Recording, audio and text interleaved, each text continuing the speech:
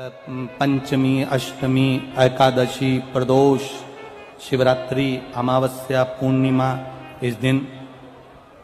ये सात दिवस आपको बताए थे और कहा गया था कि पाँच पाँच दिए लगाना शाम के समय पर बन सके उन दिए को लंबी बाती का। कौन सी बाती का? जम के बोलो जरा। लंबी बाती का। आपको पहले भी कथा में कहा, लंबी बाती का जो दिया होता है लंबी बाती का जो दीप होता है, वो दीप हमारे जीवन में वंश की भी वृद्धि करता है। इसलिए हमारे यहाँ पितरों का दिया, देवी जी का दिया, नवरात्रे का दीप, ये सब लंबी बाती के लगते हैं।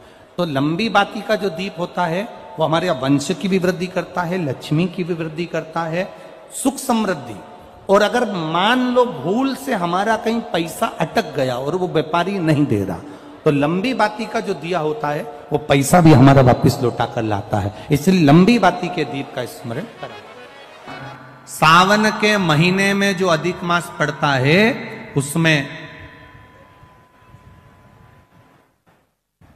सात जगह, अर्थात सात तिथियाँ ऐसी हैं, जिस दिन पाँच दीप का वर्णन किया गया है हमारे शास्त्रों में। अब बहुत सावधानी से सुनिएगा। पहली है पंचमी तिथि।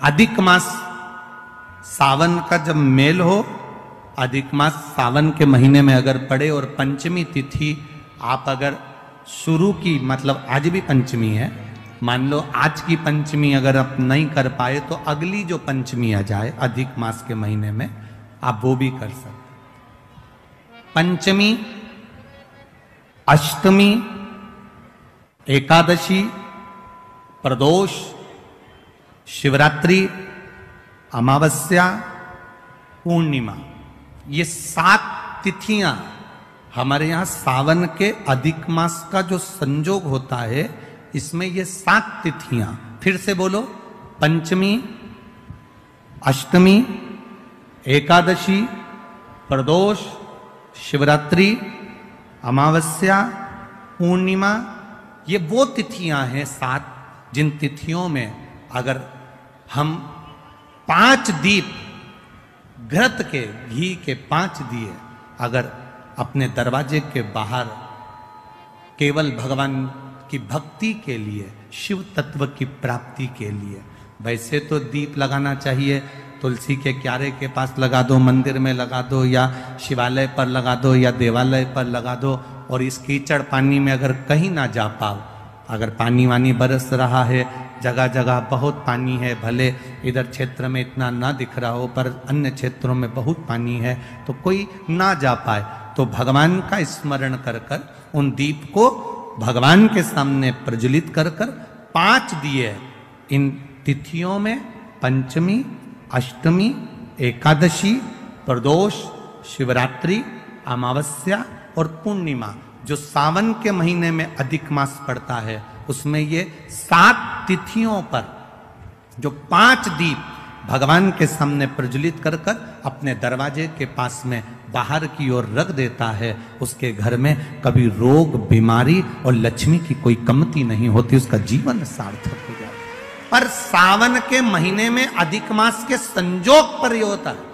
बाकी के समय पर अधिक मास कोई से भी अगर महीने में आ गया अषाढ़ का आ गया या कोई महीने में कार्तिक का आ गया अधिक मास या कोई अन्य महीने में आ गया तो उसका प्रमाण नहीं है महाराज। सावन के महीने में अगर अधिक मास पड़ रहा तो ये पाँच तिथियाँ।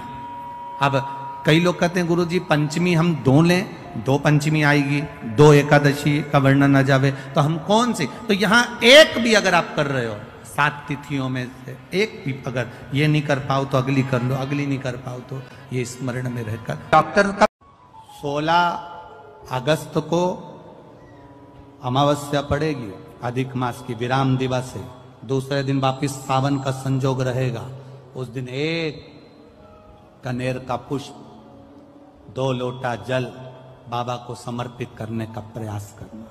आपको कथा में भी पहले कहा, मेहमान तुम्हारे यहाँ रहते हैं, जब तक बच्चों को कुछ नहीं देते हैं। मेहमान जिस दिन जाते हैं 200-500 रुपए बच्चों को दे जाते हैं। जब अधिक मास विराम होगा, सावन वापिस चालू होगा, उस दिन तैतीस कोटि देवता, यक्ष, गंधर्व, देवता, पितर सब उस दिन लुटाते हैं, संपदा देते हैं बेबहू देते हैं। और उस दिन भूल से भी अगर एक कनेर का फूल शंकर भगवान पर चढ़ जाता है तो ज़िंदगी का सारा भंडार बाबा भर जाता